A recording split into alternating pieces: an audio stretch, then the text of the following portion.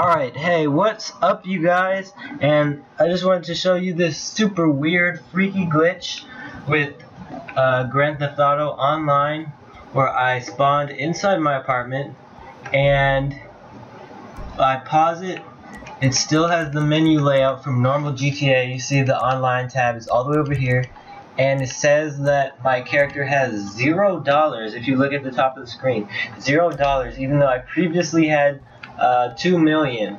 And if you look at the health bar, it still has the breath meter or stamina or whatever that yellow thing is, which is not supposed to be there in online. Yet I still have my apartment and my character. And it appears that there is nobody else on the map at all so I'm going to just go outside and see what happens.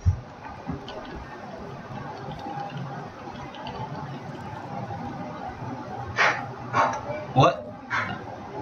Oh, well, okay, so uh, apparently I can't leave my apartment because the door is open, but I cannot enter the hallway. It's just like an invisible wall. I don't know what that's about. Um, I'm going to see if I can use any of the other features of my apartment.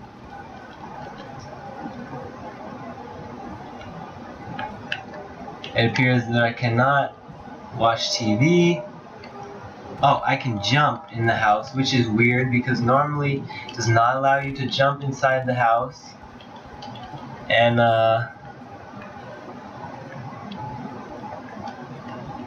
seems that I cannot shower either. And I also cannot change clothes. So this is actually uh, pretty, pretty weird and I hope this gets fixed because I do not want my $2 million to just disappear. Oh, well here's something I can do actually, is look through this telescope. And that's about it. That's all I can do. So, uh, it's pretty uh, freaky little glitch right here. Um, oh, okay. It appears that all my heist stuff is gone. Um, and I cannot use the internet from I cannot use the internet at all, it looks like. Um,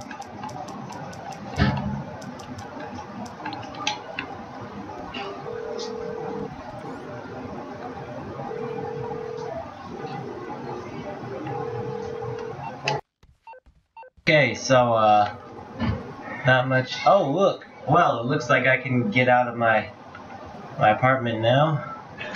Um, can't use the elevator though, unfortunately, so appears that I'm still trapped inside my apartment.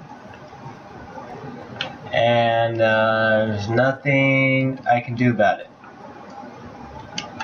So I guess that's uh, basically everything. Um, if anyone knows anything about this glitch, go ahead and comment. And uh, yeah, that's all. See you guys next time.